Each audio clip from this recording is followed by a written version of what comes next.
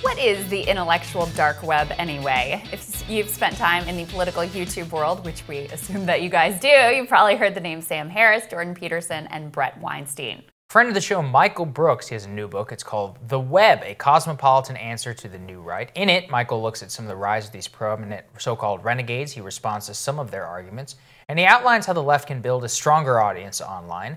Michael joins us now via Skype. He's also the host of The Michael Brooks Show and a great friend of our show. Michael, it's great to see you. Thanks for joining us.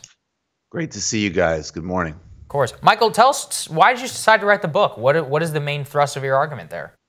I decided to write the book. They asked me to write the book in 2018 when these guys were still relevant. So that was when I initially decided to write it. But uh, look, I think uh, you know it's funny because there's no doubt that like that exercise in self branding is kind of done in some ways. I mean, people there's there's still a presence from that kind of scene online, and they have a good amount of followers, but they certainly are not getting New York Times profiles or eh, the kind of heat that they were a couple years ago. But I think what's interesting is that these guys present a couple of different styles of right wing arguments. Uh, in fact, pretty different in some ways from some of the more kind of populist stuff uh, that you're into, Saagar, which obviously I disagree mm-hmm. with in some key ways, but I think is much more uh, relevant to actually, like, at least it has an analysis of what's actually happening in today's world, right? Sure. So these are guys who are primarily, I would say, kind of uh, fixated on justifying uh, hierarchies that are you know socially politically produced and then not wanting to look at uh, the reason why things have come into play right like mm. capitalism is just good capitalism is like science. Capitalism is like biology as an example. We can't necessarily you know deconstruct the way we regulate certain markets as an example because then that can like throw us into chaos. This is more like a jordan peterson thing. So there is a criticism of all of these arguments but i think more importantly what the book does is it looks at why what are the failings on the left that have led to this? What are the kind of answers that people are looking for that arguments like this can provide? Because they're still going to be out there even after these guys kind of like leave the scene. And then maybe most importantly like what is a confident uh, you know sort of globally appealing left that really speaks to the needs of the moment well, d- dig into that why. Why was there? Because clearly, they, these guys all have massive um, followings and audiences online. There was a media fixation on some of them, but it wasn't just a media fixation. They really spoke to people in a way that was compelling for a large number of people. What do you what, what do you um, attribute that to? Yeah, I think there's three things. I think one is there's definitely, you know, there's definitely aggrievement. There's no doubt about that and some self-victimization going on. And that's kind of like the standard sort of lefty critique. And there's some truth to it, no doubt. I think then there's also um, this element of self-help almost and finding meaning and purpose and trying to be able to navigate your life um, and figure out sort of big questions. I mean, even, you know, there's a big spectrum there, but even a guy like Sam Harris will, like, you know, teach people meditation as an example, right? I think that that's actually really important for a lot of people. That's, again, another thing that maybe the left needs to rethink how they approach. People are going to want uh, tools and tactics and strategies and ideas about how to live better, how to navigate their lives, right? And even as we talk about systemic problems, we can't discount people trying to figure out their own lives, right? Uh, and then three, I think that they were able to make a lot of plays out of this sort of like woke scold culture, basically. So well, that like yeah. your only representation of liberals is, hey, you know, shut up. That's not right. Uh, you can, you know, there's an open field there. Well, I was going to say, Michael, I think that that really was is what drove more than anything was a lot of this kind of like free speech on campus stuff that really broke out into the scene in 2015, kind of culminated exactly in what you're talking about in 2018. What are the, I mean, I think it bears some self reflection that the left allowed itself to get defined very much by that cohort. And what, why is it that that happened? What is the failure? Why do you think it petered out? That's another interesting question. Why did it peter out after 2018? And what were the failures that led to it becoming such a defining force in politics, at least for a little while?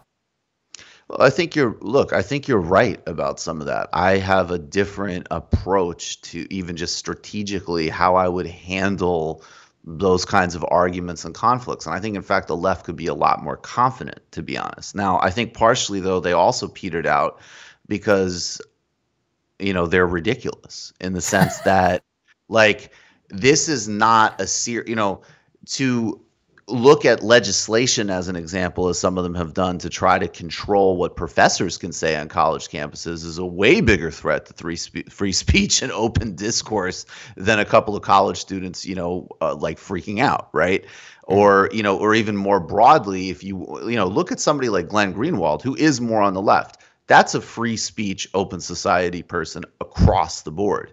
So I think that people started to get kind of drawn if they were sincerely interested in that stuff, they were like, wait a second, I think there's people who are interested in politics related to free speech, legal decisions related to free speech, cultivating a culture of free speech, not just whining about it not happening in certain places. And then incidentally, having their own kind of like very well developed high sensitivity to certain types of ideas and discourse, right? Like Joe Rogan's kind of an outlier in this group because I think he really does represent in some ways like the center and he is open to a lot of different ideas and arguments pretty much across the spectrum. But for most of these guys they are just as whiny as and as offended and as aggrieved uh, by you know, oh, how could you say that about one of my heroes as anybody else, right? Mm-hmm. So they really undercut their brand, and I, I think also that as a left started to emerge, uh, you know, that is more significant, and I think a kind of cohort that you know I'm part of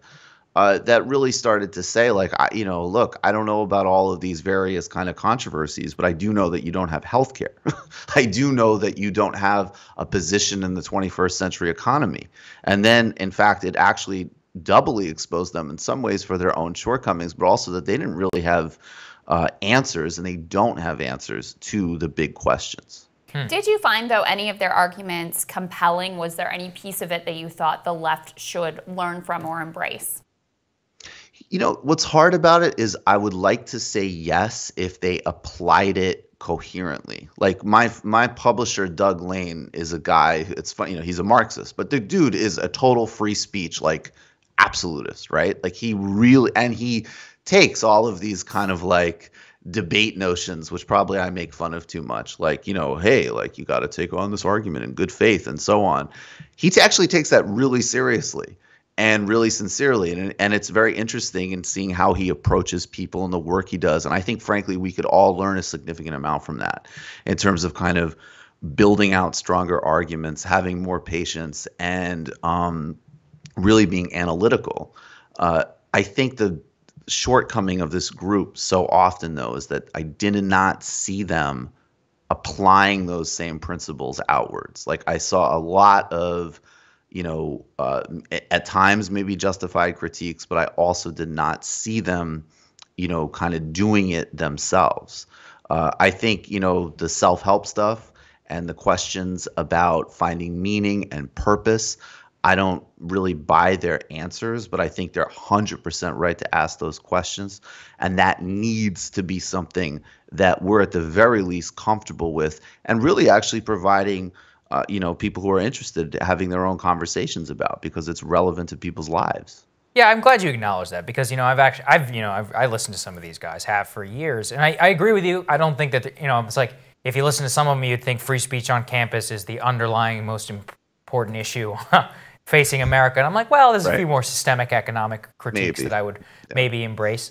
But you're correct to identify that. Look, you know, whenever there are people out there who are looking for meaning, so to speak, I've spoken with Jordan Peterson actually about this very subject, is that it, it's very much speaking to a society, and I think we have deeper systemic critiques of why this would leave people feeling meaningless and void of meaning in their lives. I think you and I would say this is about a systemic societal critique. They would say it's more individualistic and you can work your way out of it. But that doesn't necessarily mean that trying to look for meaning is a bad thing. So I'm glad that you recognize that.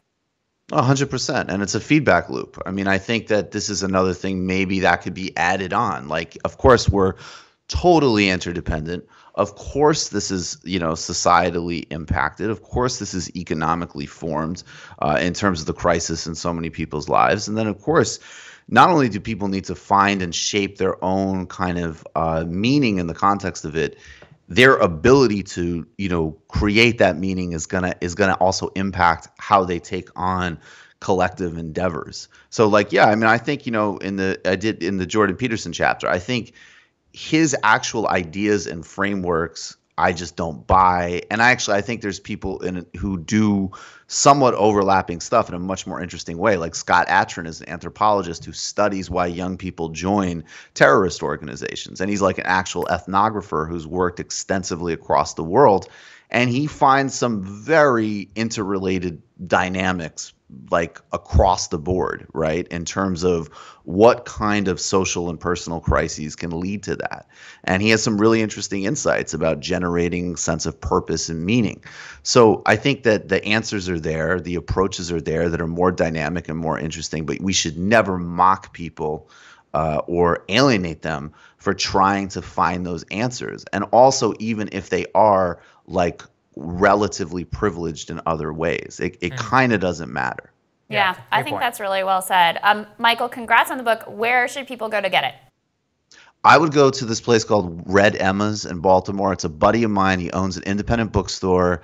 Obviously, they're not open right now because of all of this, but they are doing mail orders, and supposedly, people bailing on Amazon and and uh, ordering the book there because you know, fortunately, folks are out there ordering this book. Thank you, uh, is is helping them in this time. Well, so I'd promote that anyways, but particularly now, and awesome. I appreciate it, guys. Well, Red I read Emma's. I read the book. It's really good. Red Emma's. We'll try to post the link in the comments. So send me that link, Michael. Um, congrats again. Got Thank it. you so much. Thank you, Michael. Take care, guys. Uh-huh. Stay safe.